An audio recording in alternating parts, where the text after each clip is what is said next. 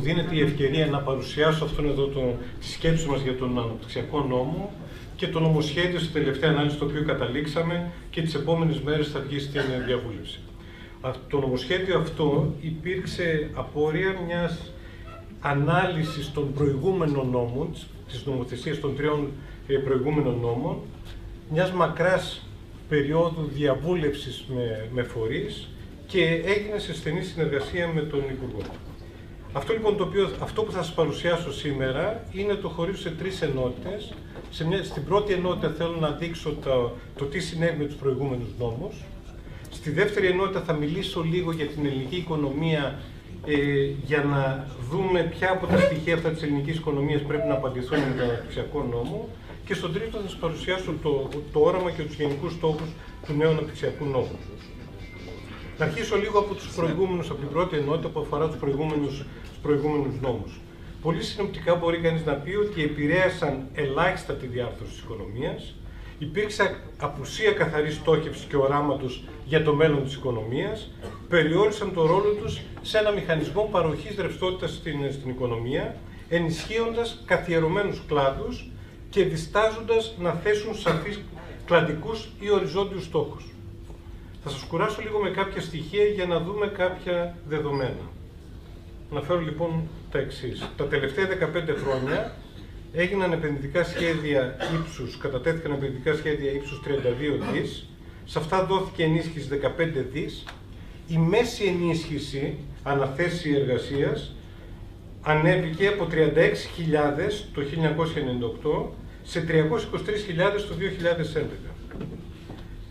Το δεύτερο σημείο που θέλω να επισημάνω είναι ότι το 95% των επενδυτικών σχεδίων ήταν χαμηλής και σχετικά χαμηλής τεχνολογίας. Ο μέσος όρος Ευρωπαϊκής Ένωσης είναι 53% για αυτούς εδώ τους δύο τομείς. Δύο κλάδοι, αυτή της ενέργειας και των ξενοδοχείων, απέσπασαν το 46%, 47% των επενδυτικών σχεδίων, αποτέλεσαν το 47% των επενδυτικών σχεδίων και το 72% του προπολογισμού. 47% των επενδυτικών σχεδίων και 72% του προϋπολογισμού. Υπάρχει επίσης πολύ μεγάλη συγκέντρωση των επιχορηγήσεων. Το 4% των επενδυτικών σχεδίων έλαβε ε, ε, παρουσίασε επενδύσεις του, του ύψους του 47% του συνόλου των επενδύσεων. 4% 47% των επενδύσεων.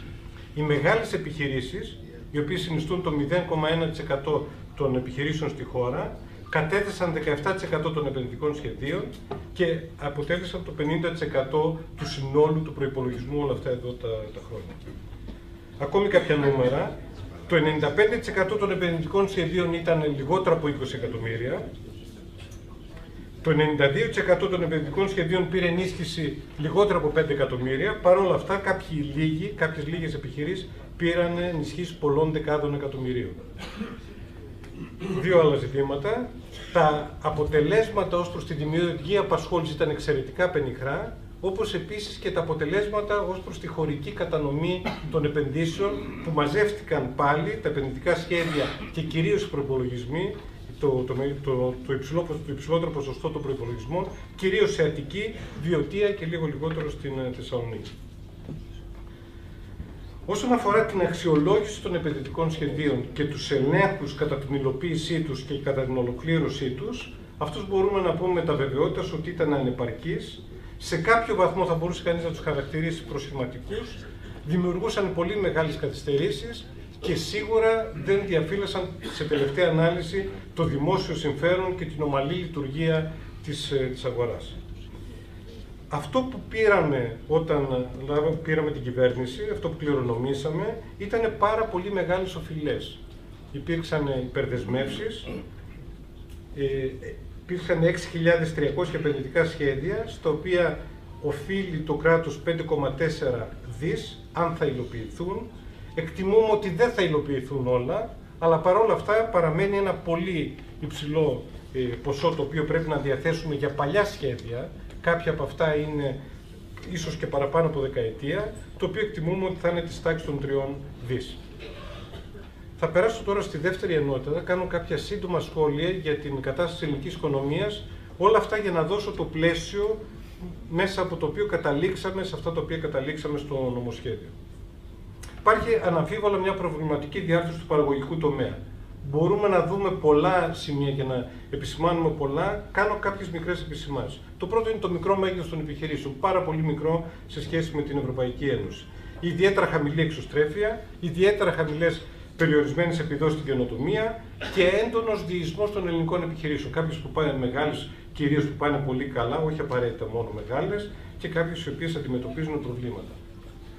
Στα ισχυρά σημεία, αυτό το οποίο θα, θα, το, θα τονίζαμε κυρίως είναι το, το θέμα του ανθρώπινου, η υψηλή ποιότητα του ανθρώπινου κεφαλαίου.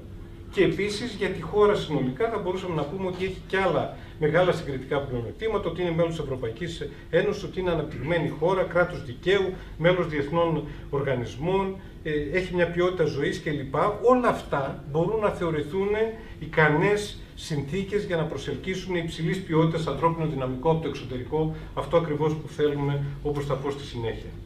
Ένα άλλο ζήτημα το οποίο πρέπει να το δούμε σαν ανταγωνιστικό πλεονέκτημα και όχι μόνο σαν μειονέκτημα είναι η διασπορά. Δηλαδή οι Έλληνες, τελευταίω κυρίως επιστήμονες αλλά και γενικά οι Έλληνες μετανάστες, μέχρι τώρα η αντίληψη για τη διασπορά ήταν μόνο, μόνο και το τονίζω, ως ενδυνάμει πηγής εισρωής κεφαλαίων ή παλινόστησης.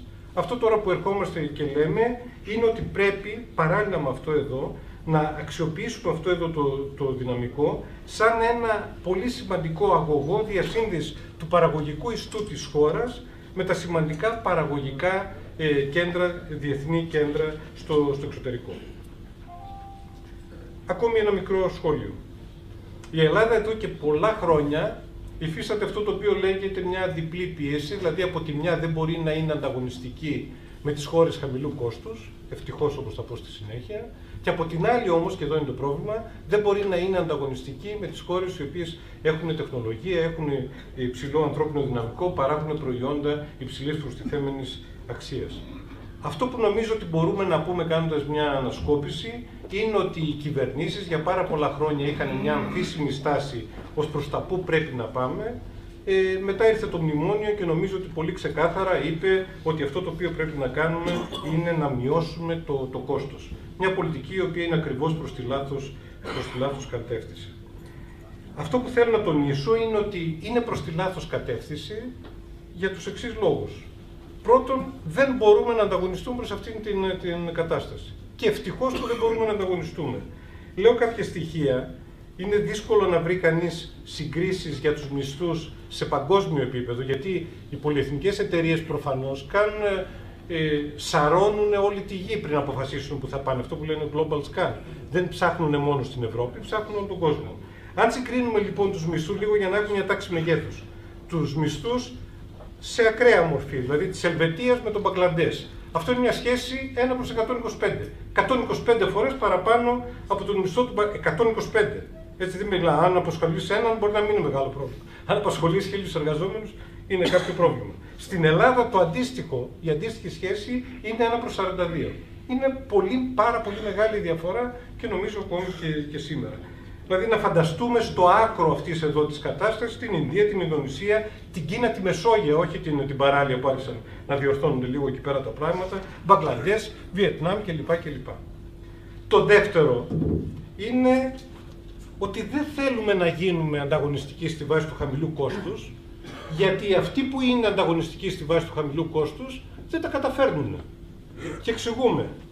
Οι λιγότερο αναπτυγμένες χώρες Δηλαδή μιλάμε για το 75% των χωρών σε παγκόσμιο επίπεδο έχουν μόλις το 25% του παγκόσμιου αποθέματος ε, ξένων άμεσων επενδύσεων, FDI. Μόλις το 25%. Άρα το γεγονός ότι έχεις χαμηλό κόστος ή και άλλα, δηλαδή χαμηλή φορολογία κλπ. από μόνο του, σε καμία περίπτωση δεν λειτουργεί. Αυτές εδώ οι επενδύσεις κυρίως πάνε στις αναπτυγμένες χώρες, όπως είπα προηγουμένως. Ένα, ένα, ακόμη ένα στοιχείο. Αν δει κανείς το πώς αμείβεται η εργασία πάλι σε παγκόσμιο επίπεδο, θα φέρω δύο παραδείγματα. Θα καταλάβουμε ότι δεν αξίζει, δηλαδή ακόμη και αν μπορούσαμε, δεν θέλουμε να πάμε προς τα εκεί και εξηγούμε. Αν δει κανείς ένα αθλητικό παπούτσι, ένα, ένα αθλητικό παπούτσι, ας πούμε ότι κάνει 100, 100 δολάρια αυτό εδώ το αθλητικό παπούτσι, το οποίο μπορεί κανείς να το παράγει σε διάφορα σημεία του κόσμου. Το κόστος εργασίας, δηλαδή αυτό που πληρώνεται από τα 100 ευρώ το οποίο πληρώνουμε για να πάρουμε το παπούτσι, είναι 50 λεπτά. 50 λεπτά. Αυτό το οποίο μένει στην, ε, στην εταιρεία, στην Αντίτα, στην, ε, στην Reebok, στην, στην Nike κλπ. είναι 32. 32. Αντίστοιχα να πω ε, ακόμη δύο νούμερα, αν δει κανείς το iPad, αυτά που έχουμε οι περισσότεροι, αν δει το εργατικό κόστος στο, στο, στο iPad είναι 7%, αν, αν κάνει 100 ή 1000 που είναι 100 ας πούμε ότι είναι 7 το εργατικό κόστος. Και αυτά τα οποία παίρνουν η, η Apple ή διάφορες άλλες θηγατρικές της είναι 47. Από τα 100 παίρνουν τα 47, το εργατικό κόστος είναι 7. Λέω λοιπόν και συνοψίζω, μήπως υπάρχουν ακόμη κάποιοι θερμοκέφαλοι οι οποίοι υποστηρίζουν την κατεύθυνση αυτή, λέω ότι δεν μπορούμε να ανταγωνιστούμε στη βάση του χαμηλού κόστους, αλλά και δεν θέλουμε να ανταγωνιστούμε στη βάση του χαμηλού κόστους και ελπίζω να, είναι, να μην υπάρχει, τουλάχιστον εδώ μέσα, να μην υπάρχει αυτό εδώ, ε, αυτό εδώ το, το δίλημα. Ε, αυτό λοιπόν το οποίο καλούμαστε να κάνουμε, το δίλημα το οποίο καλούμαστε να, να, να αποφασίσουμε, ουσιαστικά δεν είναι δίλημα. Αυτό που λέμε είναι ότι πρέπει να η χώρα να μετακινηθεί στην αλυσίδα αξίας και να παράγει πιο σύνθετα προϊόντα για να μπορέσει να γίνει ανταγωνιστική με τις χώρες οι οποίες παράγουν ε, αντίστοιχα προϊόντα.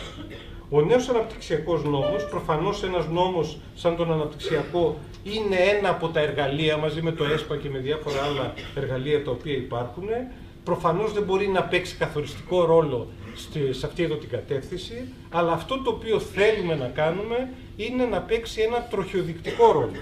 Δηλαδή να δείξουμε προς την κοινωνία, προς τις επιχειρήσεις, προς τους εργαζόμενους, προς ποια κατεύθυνση πρέπει να πάει η οικονομία μας για να μπορέσουμε να γίνουμε ανταγωνιστικοί στην κατεύθυνση στην οποία θέλουμε να γίνουμε ε, ανταγωνιστικοί. Λέω λοιπόν ότι αυτό το οποίο θέλουμε μέσα από τον νέο αναπτυξιακό νόμο είναι να διαμορφωθεί μια νέα ταυτότητα, να το πω έτσι σε καλά ελληνικά, ένα νέο branding της, ε, της χώρας, τόσο προς τα έξω όσο και προς τα μέσα. Δηλαδή, να φύγουμε από τη λογική του συγκριτικού πλεονεκτήματος, δηλαδή ότι έχουμε καλή γεωργική ε, παραγωγή επειδή έχουμε έφορα εδάφη, έχουμε τουρισμό επειδή έχουμε θάλασσα, ήλιο κλπ. κλπ. και να πάμε σε μια κατεύθυνση που ξέρουμε που θέλουμε να πάμε και το μέσο για να πάμε είναι ε, αυτό το οποίο περιέγραψα, ε, περιέγραψα προηγουμένως. Άρα αυτό το οποίο θέλουμε είναι να δούμε πώς θα δομήσουμε πλεονεκτήματα προς την κατεύθυνση αυτή, ώστε να υπάρξουν συνέργειες. Το μήνυμα λοιπόν πρέπει να περάσει και προς τα έξω και προς τα μέσα. Προς την ελληνική κοινωνία, να το καταλάβουν τα πανεπιστήμια, να το καταλάβουν τα ερευνητικά κέντρα, να το καταλάβουν τα επιμελητήρια, να το καταλάβουν οι σύνδεσμοι των επιχειρήσεων, να το καταλάβουν οι εργαζόμενοι, να το καταλάβει η οικογένεια, να το καταλάβει ο, ο, ο νέος ο οποίος βγαίνει στην, στην αγορά εργασίας.